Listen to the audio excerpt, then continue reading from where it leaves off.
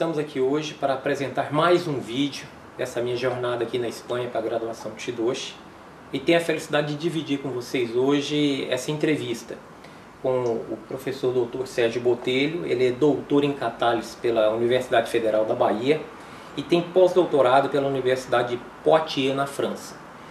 É uma pessoa que tem experiência profissional em processos de análises químicas industriais e petroquímicas e em tratamento de água é, fui professor da UFG, da PUC e da UEG. Também atuou como é, conselheiro por, por, durante 10 anos do Conselho Regional de Química da região Goiás, a 12ª região. Atualmente ele está como orientador e professor do programa de mestrado profissional em tecnologia de processos sustentáveis do IFG, que abrange a área de engenharia, tecnologia e gestão é, coordena projetos internacionais de ciência e tecnologia ambiental financiada pela União Europeia. Então, de forma que nós vimos que a entrevista hoje é, não vai ser fácil. Por isso, é, eu preparei na noite anterior um questionário para que possamos entender essa, essa linha de raciocínio e atuação que o professor Sérgio tem. Ele está comigo aqui hoje na Espanha, também estudando para a graduação de Shidoshi eu queria completar também, partindo justamente dessa conclusão que você coloca, Giovanni, que eu sou um homem de tecnologia. E pelo fato de ser uma tecnologia, nós temos um pensamento muito focado em resultados, em bens de consumo que tem um valor agregado. Então, o que, que me fez estudar ou, ou verticalizar o meu conhecimento para abstração? Ou, ou seja, para o equilíbrio, tanto equilíbrio natureza, meio ambiente, como o meu próprio equilíbrio, o equilíbrio físico e espiritual. Porque com isso, nós abrimos outras fronteiras de raciocínio para criar, para criar, para conhecer ferramentas e expandir o nosso conhecimento não só no mundo material, como no nosso mundo espiritual, porque nós sabemos muito bem que o mundo que vivemos é um mundo de energia. Nós próprios somos energias condensadas. Né? Se nós somos energias condensadas, não dá para dissociar tecnologia com o desenvolvimento intelectual e o desenvolvimento espiritual. Senão, nossa capacidade de criar, nossa capacidade de fazer, vai estar completamente truncada. Bom, de antemão, quero agradecer o senhor por ser meu orientador na universidade é, no lado profissional e por estender essa mão de amizade para mim no lado pessoal, me orientando nos mais diversos momentos da minha vida. Né? Realmente um mestre que eu carrego é, durante a minha jornada. Mas professor, a gente sabe bem que atualmente existe um déficit de energia e que o mundo não consegue né, suprir essa demanda pelos, por esses grandes conglomerados. Nós vimos que no seu currículo é justamente a área que o senhor trabalha. Como é que o senhor vê o Brasil no que diz respeito à sustentabilidade energética? Boa pergunta, eu queria agradecer pelo fato de estar aqui sendo entrevistado por um ex-aluno meu e fazendo os estudos para a graduação de Cidoso também. E a sua pergunta é bem pertinente, Giovanni, porque nós sabemos que para um crescimento econômico de um país, é necessário que se tenha a compatibilidade de demanda energética e também um nível de tecnologia que consiga abarcar essa energia que está sendo demandada para que se transforme em bem de consumo e bem-estar social também. O Brasil hoje, nós temos um déficit de em torno de 45% de energia necessária para o crescimento da, do país, em termos de indústria, em termos de crescimento econômico, e é um exemplo bem claro que eu tenho vivido lá em Goiás, pelo fato de ter cidades com grande potencial de crescimento, mas que a distribuição pública de energia não satisfaz essa demanda. Então o Brasil está partindo para as energias renováveis, que é energia solar, energia eólica e energia de biomassa, para suprir essa demanda. Então o governo tem investido recursos de pesquisa e desenvolvimento justamente para que se desenvolva esse tipo de tecnologia no nosso país.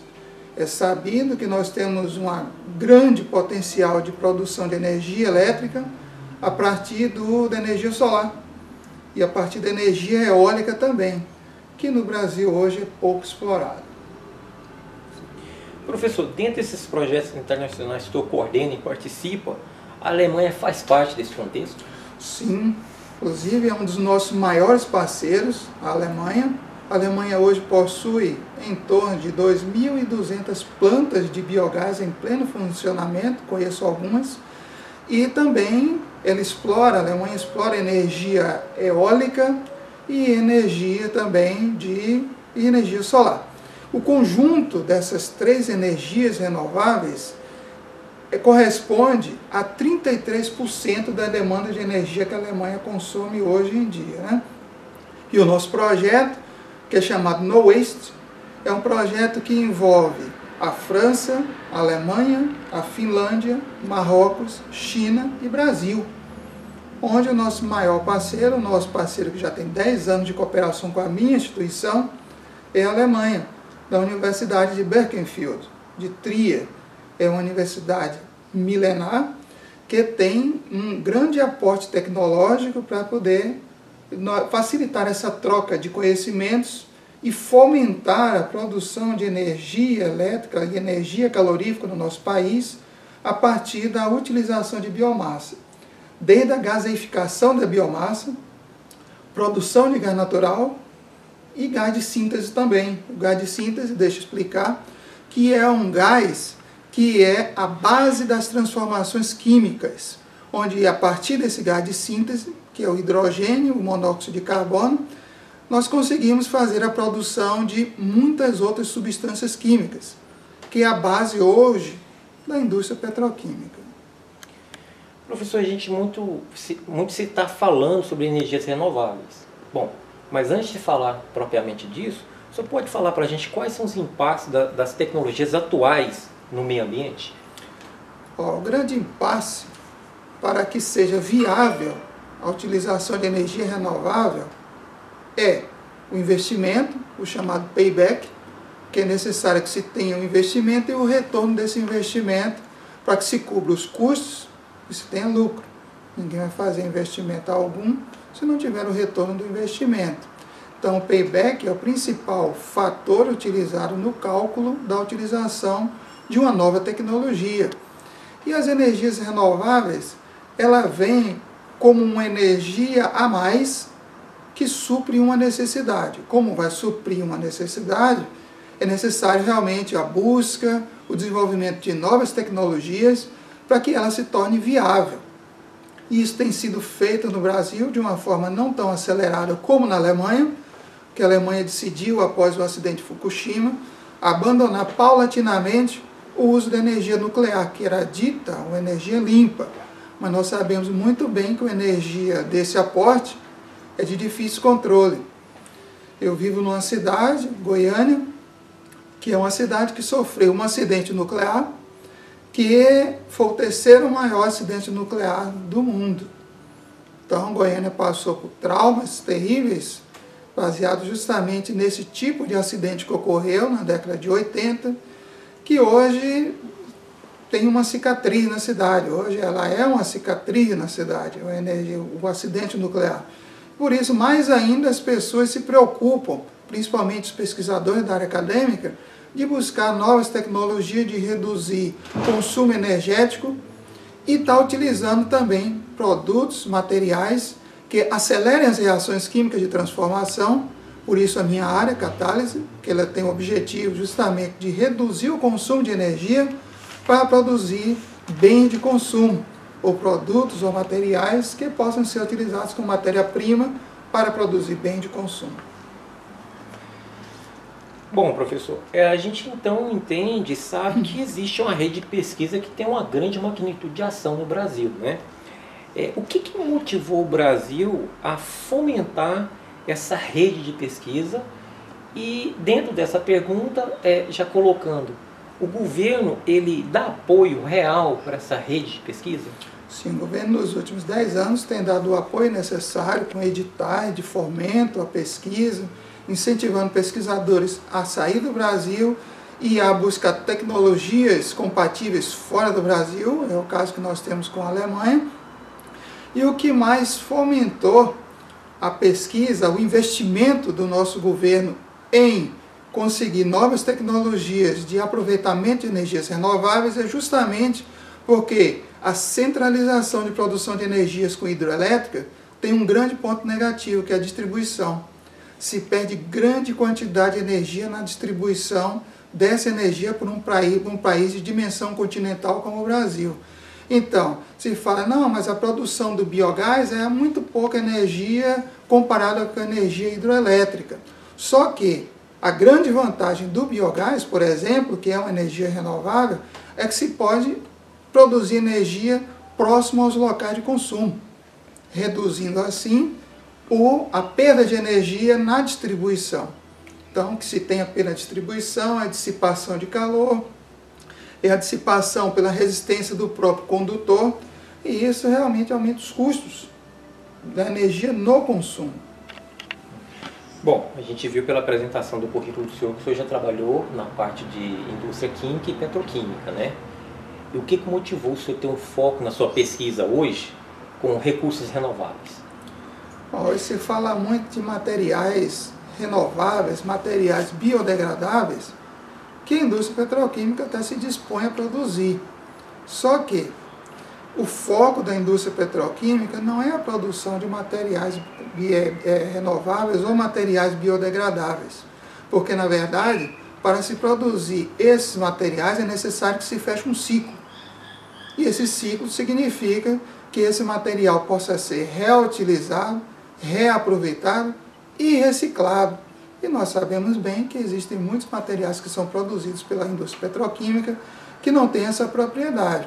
Então, partindo do, do raciocínio que utilizamos recursos naturais que possam ser reutilizados, reaproveitados e reciclados, que nós extraímos esses recursos naturais da natureza. Naturalmente que nós fazemos a transformação dessa matéria-prima de origem natural, usamos essa, esse produto final no nosso dia a dia e daí esse material, quando não tem mais uso para o nosso consumo, nós temos várias possibilidades de descarte desse material, ou descarte para fim de reciclo, ou reutilização, ou material que por si só possa retornar à origem para produzir outros bens de consumo. Então, Partindo desse raciocínio, a gente não está utilizando mais uma fonte que seria esgotável, que é o petróleo. Nós estamos utilizando fontes que a gente pode utilizar próprias técnicas agrícolas ou técnicas de manejo para flechar um ciclo de carbono, reduzindo assim o aquecimento global e as moléculas e as substâncias que são responsáveis por esse aquecimento, que são os compostos halogenados, e também compostos que, ao se decomporem, eles aumentam a biomassa de produção de metano ou outros produtos que comprometem a camada de ozônio ou produtos que venham a provocar o aquecimento global. Né? Bom, é, eu espero que vocês tenham é, aprendido tanto quanto eu tenho aprendido aqui com os meus professores. E espero que vocês tenham aproveitado essa, essa pequena palestra com o professor Sérgio e, e possam agora é, fazer o que eu estou fazendo também, né? entrar num novo nível em, de questionamento, porque nesses questionamentos diários que a gente tem, nesse, nessa movimentação que nós temos de nos questionar, é que a gente pode dar um passo melhor para melhorar não só o mundo, mas a gente mesmo. Bom, mais uma vez eu quero agradecer então e espero que vocês possam acompanhar essa nossa jornada aqui, porque na verdade eu não estou sozinho, estou como eu disse com o professor Sérgio para a graduação, graduação de Tiduche. Muito obrigado.